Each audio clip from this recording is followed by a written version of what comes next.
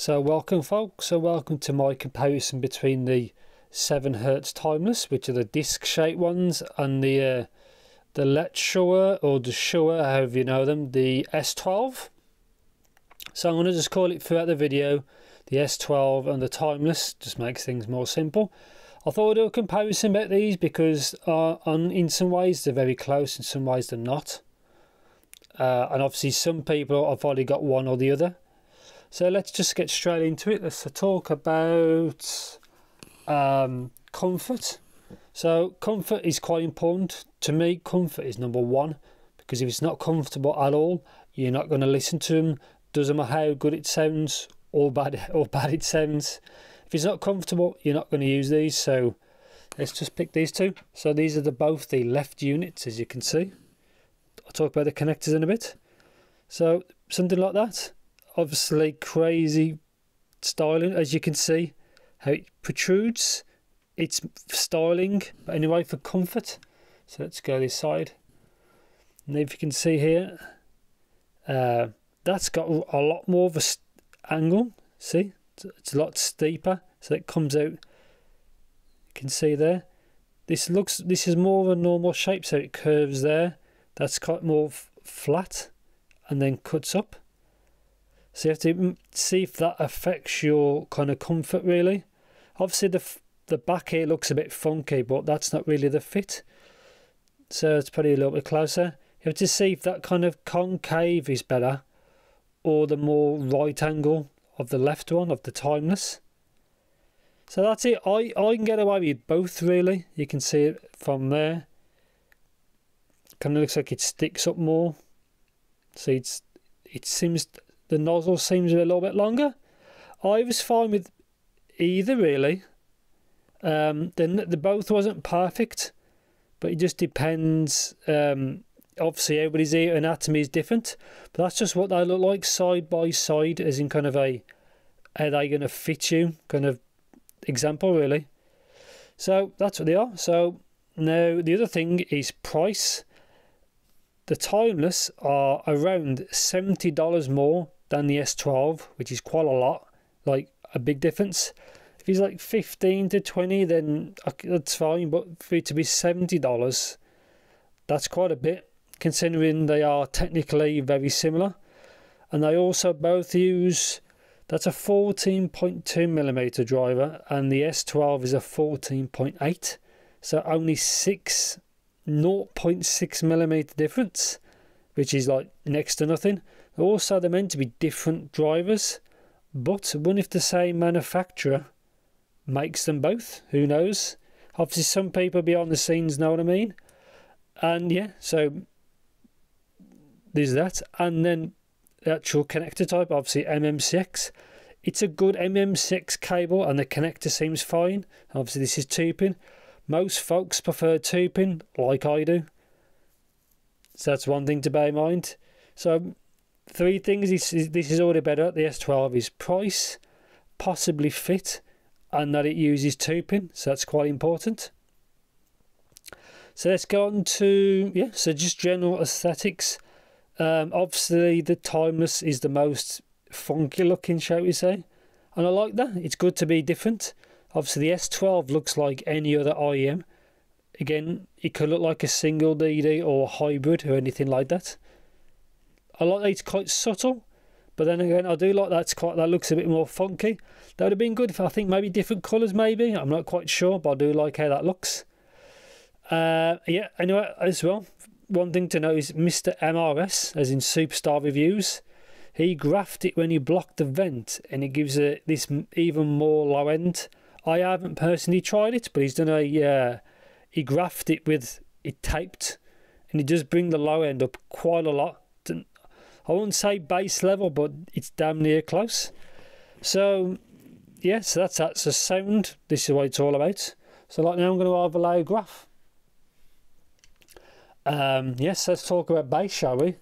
So, bass, it didn't show this, but the S12 um, to my ear has more mid bass and upper bass, but then the sub bass rolls off more than the timeless. So the Timeless has the better sub bass if that matters to you. Don't forget, not everything includes that. mid bass is more noticeable than sub bass because more things have mid bass than sub bass, if you understand what I mean. But the graph doesn't show it. But out of the pair, the S12 uh, is the bassier one. Not by much, just a little bit. But if you're back to back, it, you know, you'll notice it. And that's it really. Obviously, bass performance is like extremely similar because they're both planar, so they're both fast. They both have really quick decay. Um, may be good or bad, depends on your genre. Some things may prefer slower, thicker low end, maybe some hip hop and rap would probably benefit from that.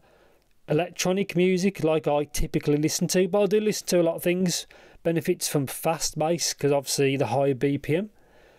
So yeah, so mids, um, very similar, really. I the only difference is I found there was the upper mids where vocals are a little bit more forward. Um, to my ear on the actual S12 than the Timeless. So female vocalists which exist in that kind of part were a little, a little bit. It's not much, just a little bit more um, forward on the S12 than the Timeless. The Timeless, on the whole, is a slightly smoother listen experience, but I'll get into more of that in a bit. Um, yes, and the lower mid sounded a little bit more thick on the S12, um, but it's not much. Um, sorry, the lower mids a little bit more thick on the timeless. My mistake. Again, it's it's all very very similar. Mid range performance again is very very similar. Where these differ the most is obviously in the bass and actually in the treble. So the treble region, the S12, um, is the most elevated. So at the pair, the S12 is the brighter one, not by much. Um, but if you back to back them, like I said, you you'll notice it on certain tracks, certain instruments, singers, sibilance is more um, has more of a presence on the S12. So bear that in mind if you're treble sensitive. If you are, then the timeless might be the better one for you in that respect. Obviously, depending on the comfort as well. Again, it just depends so much on your genres, but on your whole, like if you like classical music or acoustics, it's more forward. I found on the S12 again. It's not by much. The you know there's not there's not a massive difference between them. It's just a noticeable difference back to back. If you only had one of these, it doesn't matter because you obviously you can't hear the other.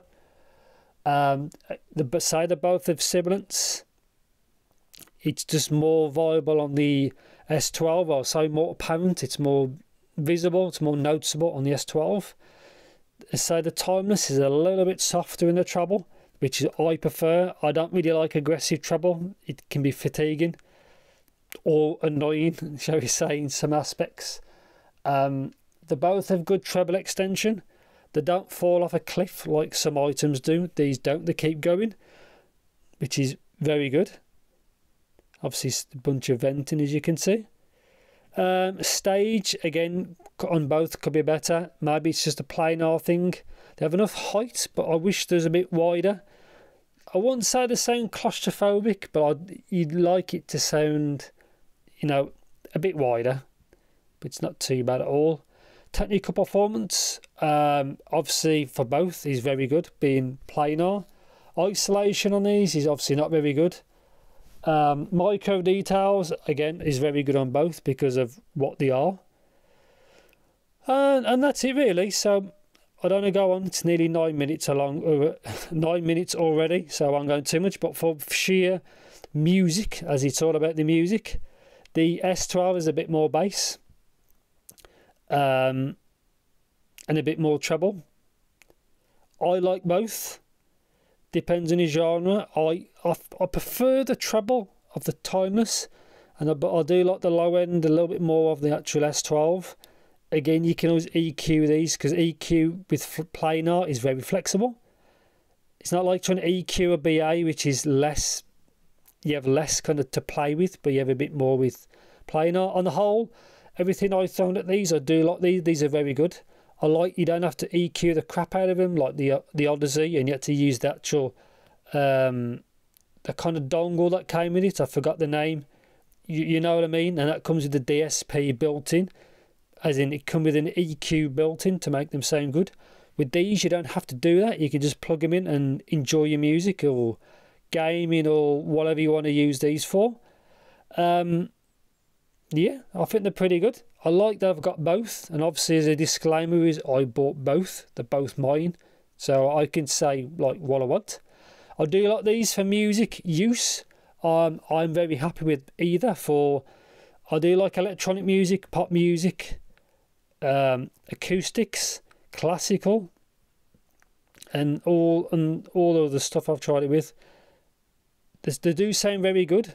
So if you've got one, do you need the other? So let's say you've already got the timeless as it's been out the, the longest. Do you really need the S12? Probably not. Bit of EQ will probably fix that. But if you say, say I'm lucky, I've got both. So really, if you need, like I said, if you've got one, you probably don't need the other. You get, or if you really want the S12, you could always try to sell sell one to buy the other, or vice versa. You you pick. I think the S12 will probably be the better seller overall because it's cheaper. I think for most people, will have the better fit, and obviously two pin is more attractive. They've all got they both come with decent cables and accessories, tips, and all that. It's all very good. They're both premium. They didn't really cut any corners. So the verdict is like there's no real winner. They're, they're both not perfect. They're both.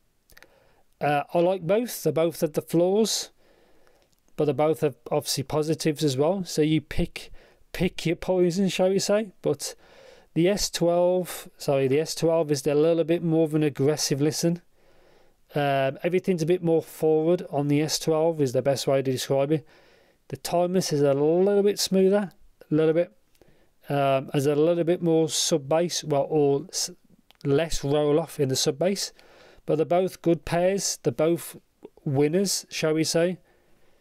Um, I've heard some things about the timeless quality control is not very good, as in channel matching, and I think some people have had the, the rear part of the shell come off. I haven't seen that. Um, the S12 on the whole looks good. But my S12, the channel matching is not as good as that them channel matching. So that, that's just my pair. But the fit and finish and actual quality control, so the tolerances are very good. Um, obviously the build quality for me is perfect for both. I have no issues, and yeah, I'm going to stop waffling. So I recommend them both. You just pick what suits you more, or if you've got a particular budget, obviously that's the cheapest or whatever's available for you obviously I've got the graph um, you know uploaded so you can check squig.link for that but yeah obviously on, on mine the these do have um, a little bit less mid bass than the S12 it just looks the same on the graph so bear in mind and yeah, I think I'll probably end it there. I don't waffle on too much, but um, I've got a few things in the pipeline. I just don't have them yet, like the KZ uh, HBB DQ6S is coming soon, and then the, I will be doing the Tripowin HBB Amelina. So two Hawaii bad boy models coming up soon. Don't have them yet. No real ETA, but yeah. Thanks for watching and take care.